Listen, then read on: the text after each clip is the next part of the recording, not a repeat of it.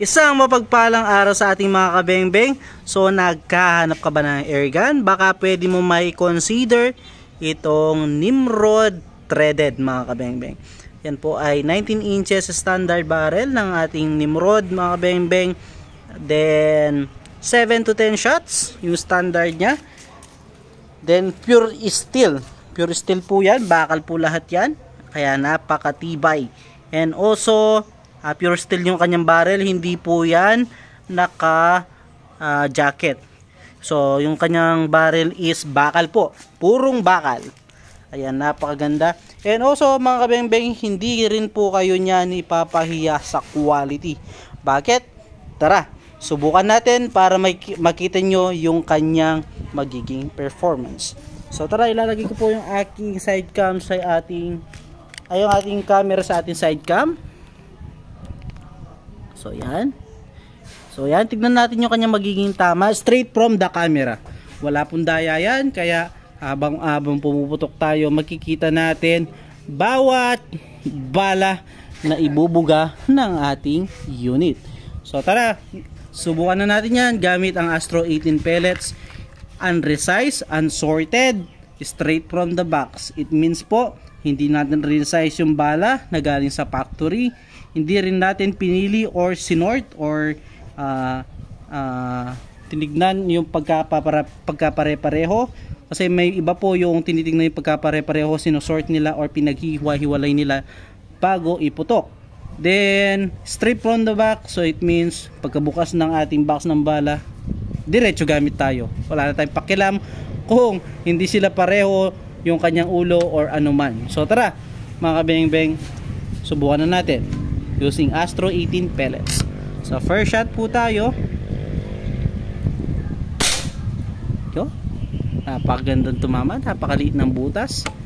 Second shot using Astro 18.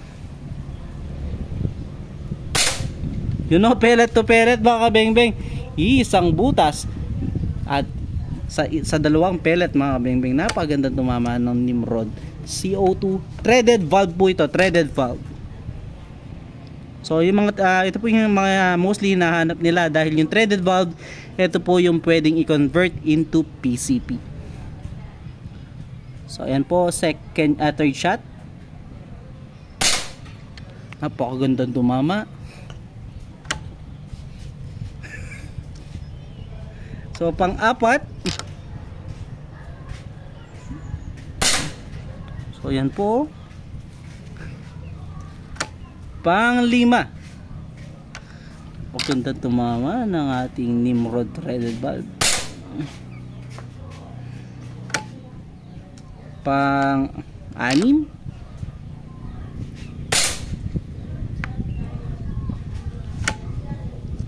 Pang pito.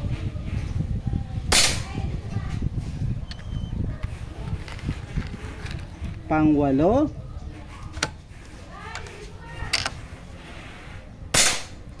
So napagandang tumama. Ayan po, walang ke flyer yung ating uh, pagte-test fire. 18 meters po yan ha, 18 meters. Pang siyam. Pang sampo. So yan, 10 shots mga kabeng-beng. Using Astro 18 pellets. So subukan din natin siya ng meteor pellet mga kabeng-beng, meteor pellet. So nagreact ako kanina dahil may bumalik na bala sa akin. Medyo ano yan. Pero hindi naman masakit mga beng-beng. Nabigla lang ako.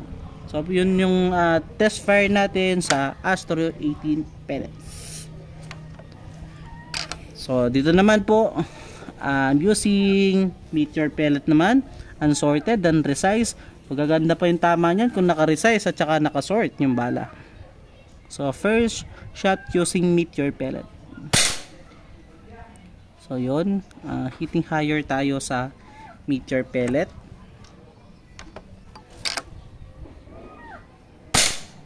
Yun, maganda rin palang tumama sa meteor pellet ng Nimrod. Pangatlo. Pang-apat.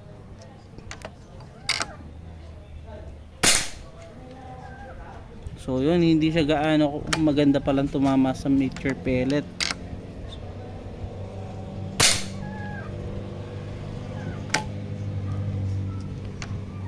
Pang-anim.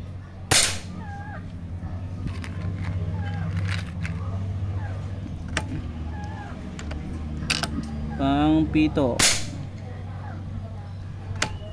Pang-walo. Pang-siyam. At pang-sampo.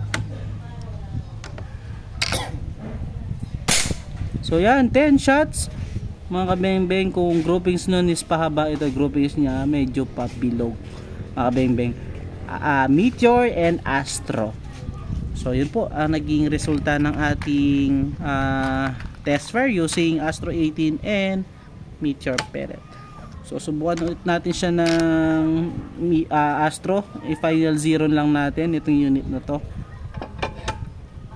Astro sa gitna.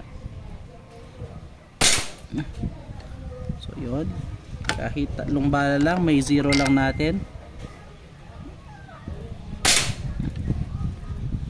Right siya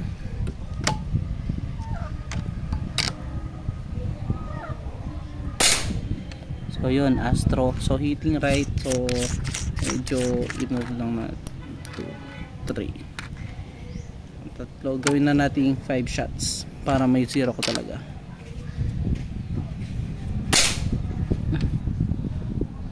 Sobra yata yung aking adjust.